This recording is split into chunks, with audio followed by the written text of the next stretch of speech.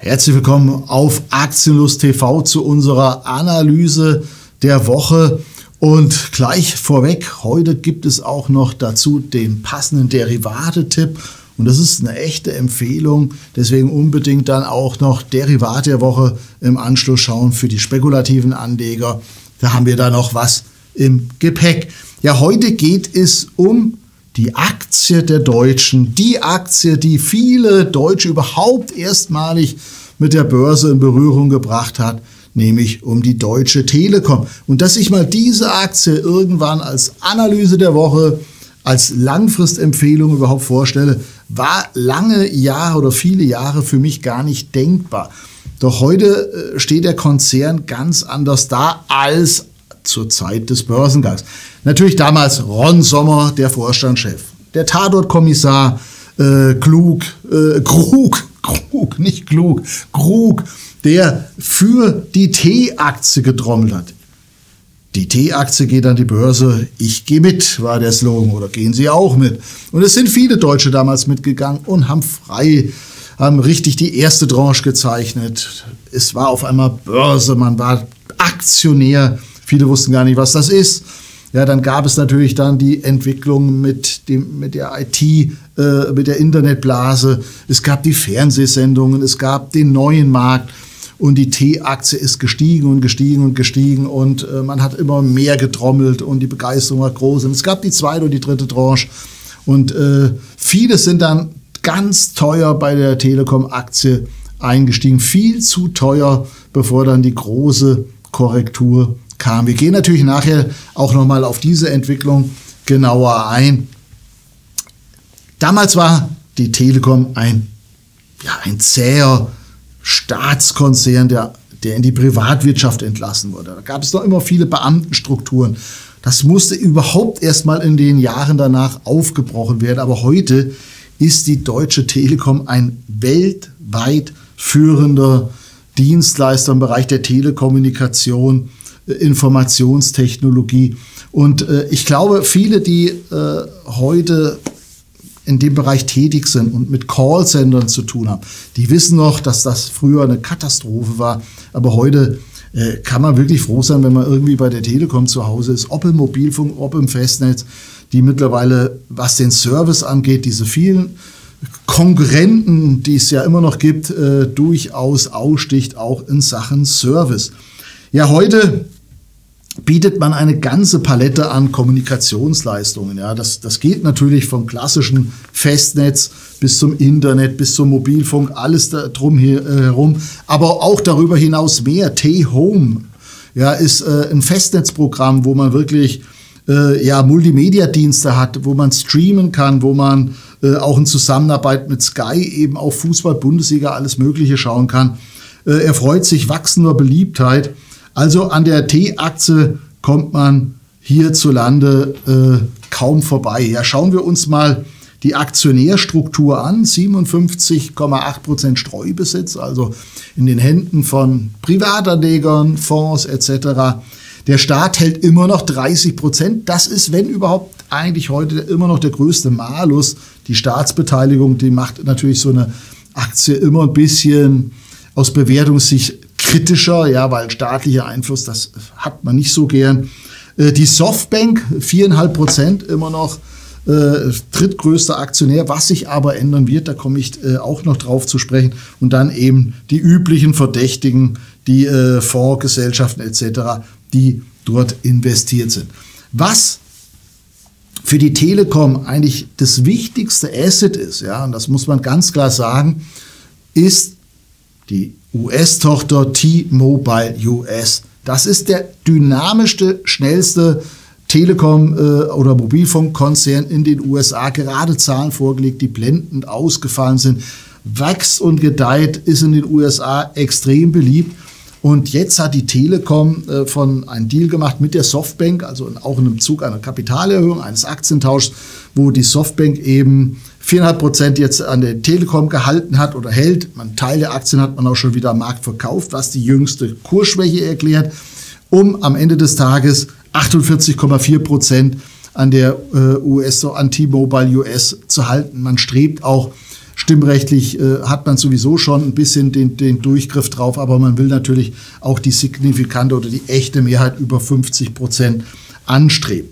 Und wenn wir allein uns mal den, die, die jetzt die, die, die Börsenwerte anschauen, also der Mutterkonzern Deutsche Telekom hat aktuell einen Börsenwert von 82,5 Milliarden Euro. Wie gesagt, Streubesitz 57 Prozent. 4,97 Milliarden äh, Aktien gibt es, ganz klar. Hier sind die Kennzahlen dazu. Und die US-Tochter T-Mobile US hat einen Börsenwert heute von 133 Milliarden. Und daran hält die Telekom 48 Prozent. Also ist der Börsenwert der deutschen Telekom schon zu einem ganz großen Teil unterlegt durch die US-Tochter. Ja, und das ist eine eklatante Unterbewertung eigentlich äh, des, des Mutterkonzerns, äh, um es ganz deutlich zu machen. Äh, und darauf setzen wir ganz klar.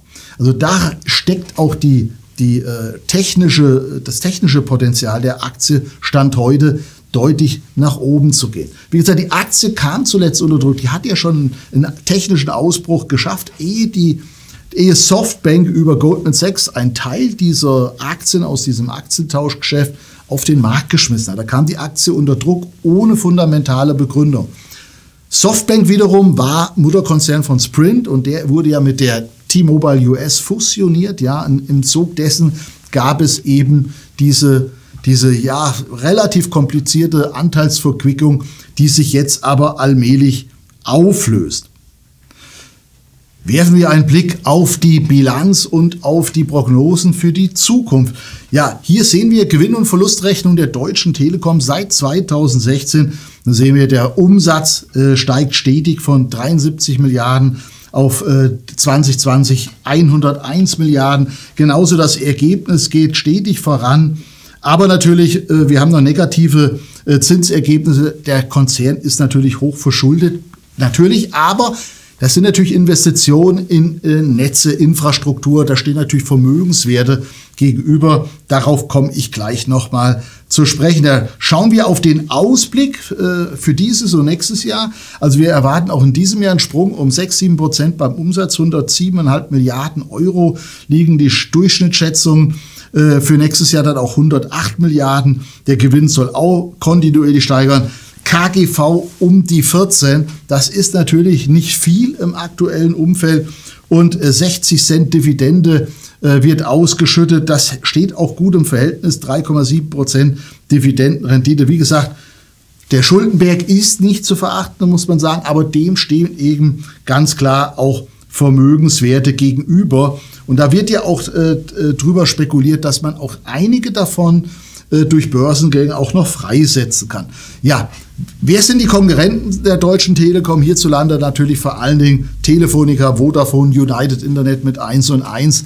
Aber wie eingangs erwähnt, in Sachen Service, in Sachen Durchdringung hat die Deutsche Telekom äh, wieder so viel Boden gut gemacht, dass man die Konkurrenz äh, wirklich in Schach hält.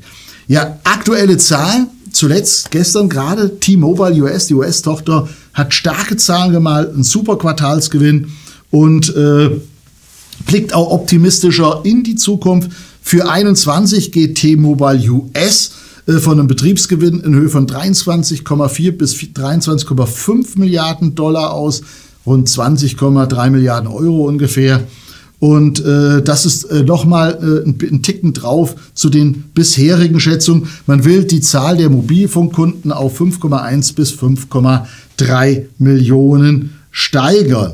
Ja, und wie gesagt, äh, dank dieses boomenden Geschäfts äh, gehen eben auch die Zahlen bei Mutterkonzernen nach oben. Äh, wir hatten im, im zweiten Quartal einen Konzernüberschuss bei der Deutschen Telekom, der um 150 Prozent gestiegen ist. Und wie gesagt, für dieses Jahr geht man hier von einem äh, EBIT von 37,2 Milliarden äh, Euro aus, also EBIT da, also vor äh, Zinsen, Steuern und Abschreibung. Da sieht man mal eigentlich, wie äh, gesund dieses Geschäft der Deutschen Telekom eben ist. Also auch beim Ausblick hat man da nochmal nachgelegt. Schauen wir uns mal die Aktie im Chart an, und zwar erstmal im Langfristchart. Da sieht man diese, diese Entwicklung vom Börsengang weg, wo die Aktie wirklich, ich glaube, zu 13,50 Euro an die Börse, kam relativ schnell mit Zeichnungsgewinn. Man kam dann nochmal eigentlich auf das Zeichnungsniveau zurück. Aber dann ging so richtig die Post ab mit der zweiten Tranche, die äh, auf dem Markt platziert wird und natürlich der dritten Tranche äh, jenseits von 70, 80 Euro. Und da haben viele Anleger zugegriffen und äh, warten heute noch drauf, ob sie jemals diese Kurse äh, wiedersehen werden. Ja, dann ging es natürlich rapide in den Keller unter 10 Euro. Und selbst im Jahr 2013 hat man sich da nochmal eingefunden. Wobei man sagen muss, eigentlich von 2002 bis heute, ja, also 20 Jahre befinden wir uns mehr oder weniger in einem Seitwärtstrend, der so allmählich eben danach aussieht, dass wir ihn nach oben auflösen können. Und das sehen wir eben auch im Kurzfristchart. Also, dass wir äh, uns seit Corona jetzt wirklich nach oben entwickeln. Wir hatten jetzt eine scharfe Korrektur äh, vom Zwischenhoch bei 19 Euro, da ging es mal runter auf 16 Euro. Jetzt geht es aber auch wieder mit dem Rückenwind aus den USA nach oben. 16,60 äh, Euro gestern wieder Schlusskurs. Und wenn wir jetzt diese 200-Tageslinie knacken, halte ich, gibt es gute Chancen, dass wir auch wieder äh, die Höchststände von 19 Euro in Angriff nehmen und eben darüber hinaus schießen. Was natürlich nicht zu vernachlässigen ist, sind die ganzen Dividendenzahlungen die es bei der Deutschen Telekom zu kassieren gibt. Und die haben wir hier mal aufgeführt. Und äh, wenn Sie sich mal den Spaß machen und mal alle Dividenden summieren in den letzten Jahren, da kommt man schon auf einen zweistelligen Eurobetrag. Und das hat man ja trotz allem verdient. Also wer vor 10, 15 Jahren da hier Aktien gekauft hat, hat vielleicht nicht die Kursgewinne gemacht, aber der hat ordentlich Dividenden kassiert. Und das ist ja auch nicht so zu vernachlässigen. Ja, die Analysten sind eigentlich relativ äh, bullish für die Deutsche Telekom. Wir haben hier mal einige äh, Meinungen zusammengefasst. JP Morgan, Ziel 28 Euro. Ja, ich meine, das ist eine Hausnummer. Wir stehen gerade bei 16, 17 Euro. Und das, äh, die Analyse ist von gestern. Ja. Jeffries äh, ist ein bisschen smarter, 21,80 Euro. Das deckt sich eher mit unseren Vorstellungen. Und äh, die Deutsche Bank hat äh, auch äh, die Deutsche Telekom aufkaufen mit Ziel 26 Euro. UBS 24, 20. Also wie gesagt, äh, man ist sehr, sehr bullisch bezüglich der Deutschen Telekom und das nicht zu Unrecht. Aber auch die Börsenbriefanalysten sind sehr, sehr bullisch. Beispielsweise Euro am Sonntag. Natürlich äh, geht man hier davon aus, dass vor allen Dingen das US-Geschäft eben äh, der Wachstumstreiber ist, aber auch das große Thema 5G. Also mit dem neuen Mobilfunkstandard, so äh, Euro am Sonntag, können noch viel größere Datenmengen schneller äh, verbreitet werden. Und das ist wichtig beispielsweise für das Thema äh, äh Autos, also selbstfahrende Autos, Digitalisierung von Fabriken. Da braucht man Geschwindigkeit. Und hier winken durchaus massive Wachstumschancen.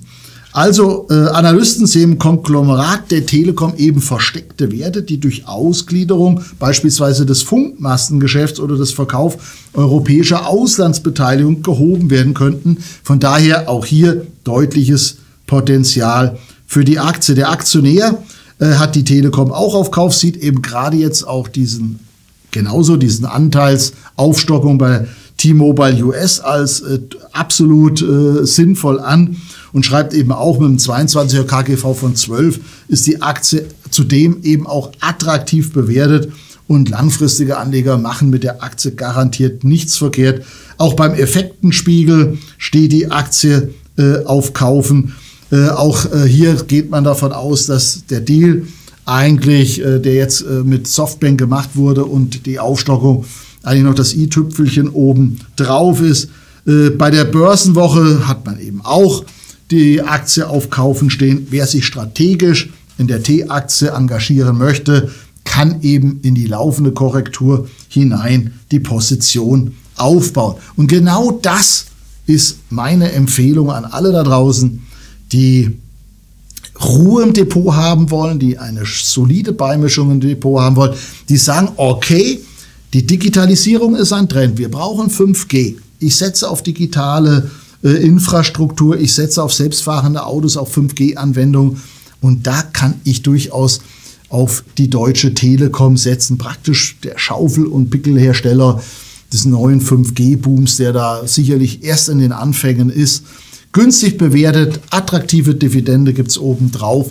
Von daher von mir eine klare Kaufempfehlung. Und wie gesagt, äh, mein Ziel in den nächsten zwei, drei Jahren liegt sicherlich deutlich über 20 Euro. Und das ist auch der, der Ansatzpunkt für eine schöne Derivate-Spekulation. Die stellen wir uns euch heute hier vor, äh, wenn gleich der Cliff zu mir ins Studio kommt, mit unserem Derivat der Woche. Also viel Erfolg mit der Telekom und schaut euch auch noch das nächste Video an.